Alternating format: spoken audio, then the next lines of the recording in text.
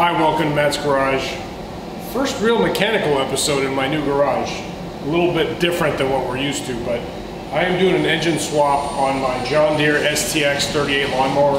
I just got a 20,000 yards of hydro seeding and the old Kohler engine that came with it is not gonna cut it. I mean, it was, I did a lot of work on it, restored the deck, changed the tires, so I didn't want to spend the two grand, 2,400 bucks on a new riding mower. I spent the 533 on a Briggs & Stratton on Amazon. It's a 17 and a half horsepower, so it's more horsepower. Uh, the shaft size is the same, and that's really the key to doing an engine swap is the shaft diameter and length need to be the same. And these are one inch, um, three and five sixteenths length, and the bolt pattern is the same. Let me pull the new motor out and show you the old motor and the new motor side by side.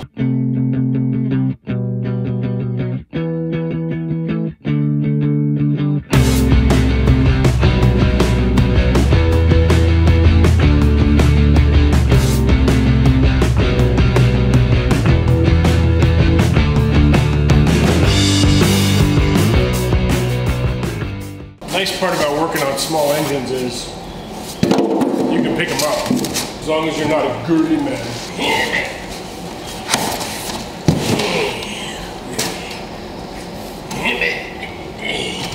The motors are very similar. Their bolt patterns are the same. Uh, and like I said, the shaft diameter is the same and they're keyed the same. So that is the key.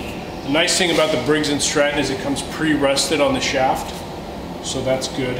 Um, and in true Amazon made in China fashion, the bolt holes aren't uh, threaded, which is really helpful. Now, luckily, these are all through holes, so I can just uh, put a bolt in and then cinch it down on the top with a lock nut, which is great. That one had actually worked itself loose and was shaking itself to death, and I never picked up on it.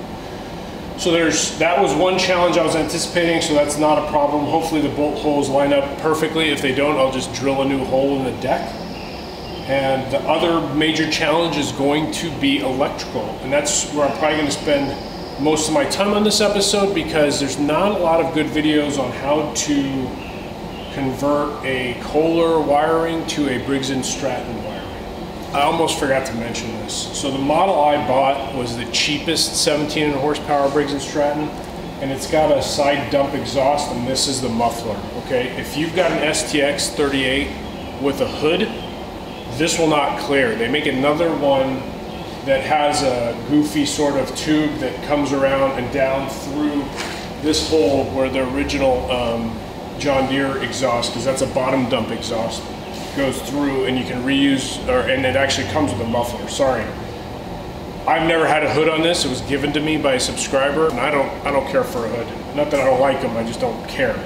So I did the side dump exhaust, better for me, more ground clearance for rock crawling in the front. So uh, yeah, I'm gonna clean up the shaft a little bit and then uh, throw it on. Easy, easy. Get in the hole. Please fit. Please fit. Please don't make a fool of me. And fingers. Okay. Got a little interference with the flange. Let me pull this off again. Got a little bit of interference with this flange on the fuel tank. Is that metal? No, it's plastic. So I need to clearance this a little bit you know, I'm gonna try to take off a little more than I need because you can always put some back.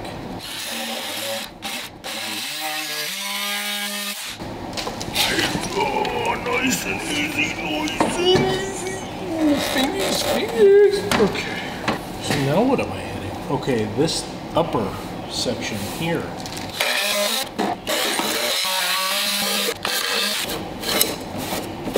Kind of digging this small engine stuff. You can just pick them up. You don't need a don't need a hoist, don't need a stand. Okay, that's on there. Ooh. Ooh, that's really close. Yeah, man, yeah. I'm just getting some bolts through here, make sure it works. So I'm gonna use a crush washer, sorry, lock washer and double nut it. And probably Loctite it. As I mentioned before, they were nice enough to send the shaft uh, pre pre-rusted. So I put a little bit of uh, anti-seize on the uh, shaft here. Another thing I didn't mention was that uh, the only difference is between these motors down here on the shaft is this bolt, the stock bolt is uh, is a 3 8 fine thread and this replacement one is the 7 16 Luckily, this uh, hub here accepts the 7 16 So I just had to run to the parts store, get a 7 16 fine thread, 4 inch. Oh, now the motor's turning. That's good, motor turns. Just a couple of odds and ends before we uh, fill her up with oil. Or sorry, before I wire her, actually. Got to get the throttle figured out here. Let me get this in here. There's a little hole.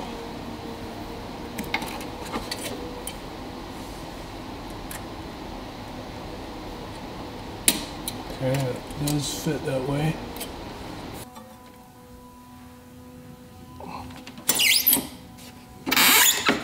Perfect. So that works, throttle works. And we're gonna do the fuel filter out of the way. Push that on. Okay.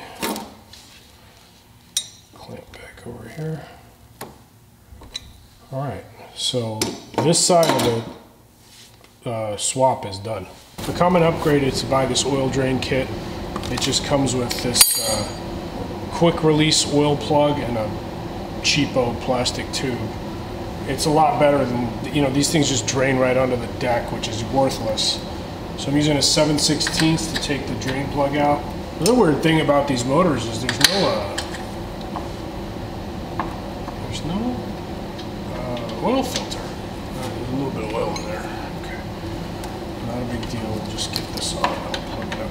Now it's hitting the deck, which is kind of annoying. But once this is on, it's on. So.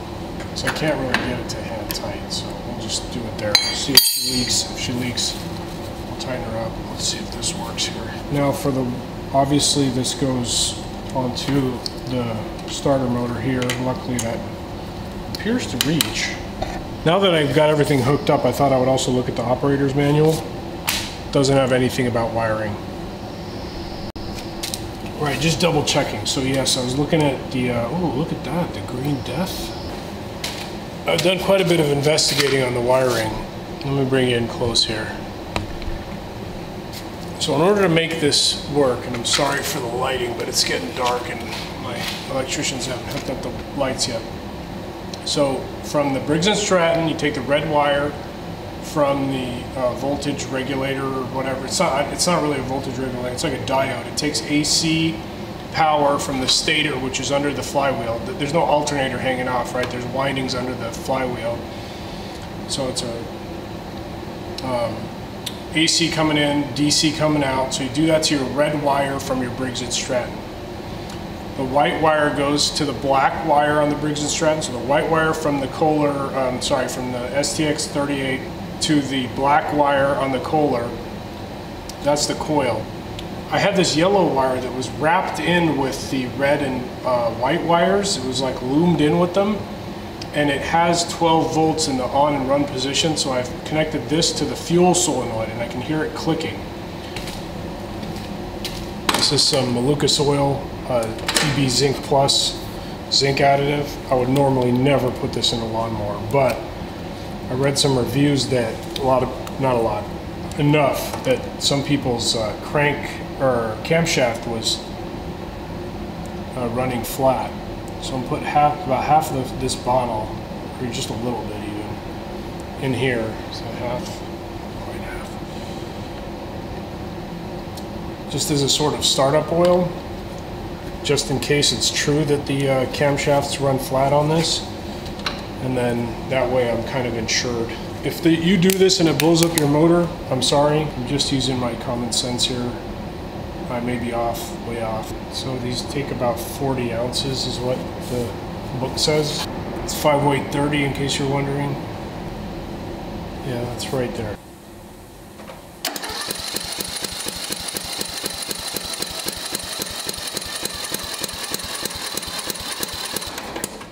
And my battery's dead. I'm pretty sure fuel is not supposed to look like lemonade, so I obviously have a fuel contamination issue, and that's probably why it's not firing. So I'll go get some fresh gas. So that was obviously bad gas. I put fresh gas in it, so hopefully now it'll start. So let's give it a rip. I hear the solenoid.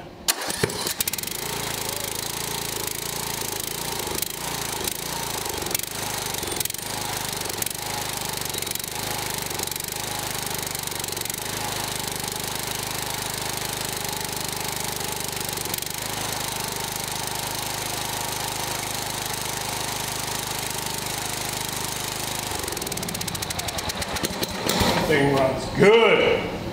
Yes. Let's check the oil while the exhaust burns off whatever crud was in there before. These dipsticks are really hard to read.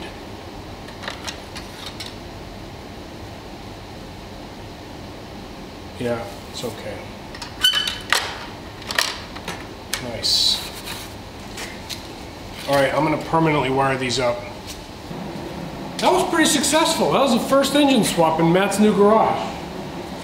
Not too bad, man. Not too bad.